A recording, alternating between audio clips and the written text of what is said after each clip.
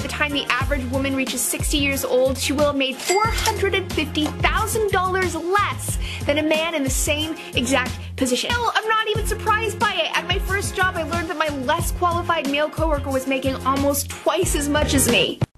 Wow. These are some very outrageous claims.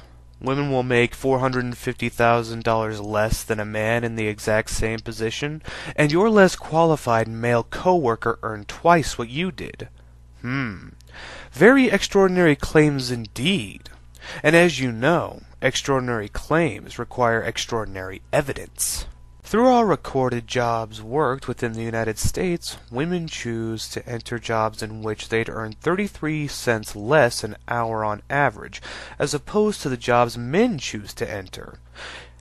It wasn't the same jobs, just the national average of all jobs worked that showed that women took lower paying jobs. More teachers are women and earn less than more construction workers, who are mostly men. Of course, feminists try to spin it as if the 33 cent difference were a man and a woman being in the same position. But a simple Google search on the U- U.S. Bureau of Labor Statistics, where this statistic is primarily sourced, shows that the gap isn't in the same position, but in the overall differences in money earned by men and women on the average whole. Your claim, Miss Green, and a growing number of feminists, is that it's for the exact same job and I'll be frank, I don't believe a word of it. No, I'm not saying I'm skeptical of it. I'm saying I flat out don't believe it. However, I'm not without an open mind, and I'm calling on you and the rest of the feminists out there who claim that this pay gap exists to provide evidence of it.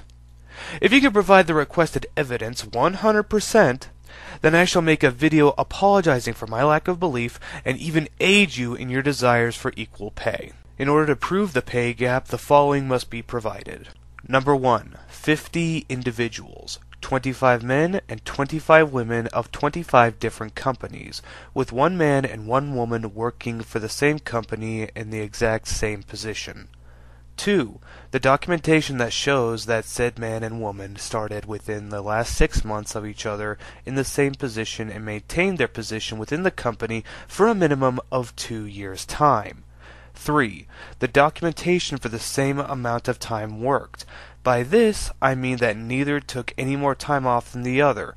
This includes vacations, maternity leave, paternity leave, hospital admission, sick days, personal days, etc., etc. 4. Consecutive pay stubs for those two years worked by both parties, including overtime and holiday pay. 5. That both have the same education level as some form of education, including but not limited to college degrees, licenses, certificates, etc., etc., are valued in certain positions over others. And finally, 6. That both receive the same number of disciplinary actions taken against them that they may have influenced the employer's decision to give the disciplined employee a raise, or not. Note, this isn't taking into account the factor of exceptional performance, or any other variables in terms of worker ethic that may give one employee or another more pay. I understand this variable, but am unsure of how to include it with documentation. So, at the risk of criticism, I have chosen to disregard it for this particular experiment. Showing all of these bits of information with the man and woman in the same position and company with adequate overlap will be enough to convince me of your stance. Since this is an on average thing and espoused to be everywhere, attaining the required documentation should be relatively simple work for you. However, there's a catch. For every male that shows the reverse of what I've asked for and gives evidence that a female actually earns more than her male counterpart, you will be deducted one count. It's fair, right? That for every one woman that's paid more than her male coworker balances out the male coworker that's paid more than a female worker, right? Right. Please feel free to share this video on any and all feminist networking sites, blog, Twitter with the hashtag prove the pay gap or whatever. The feminists have made a huge claim, and I think it's time that claim was finally called to task. And since they are the ones who made the claim, the burden of proof is on to them. Good luck, ladies and gentlemen. I do look forward to your findings.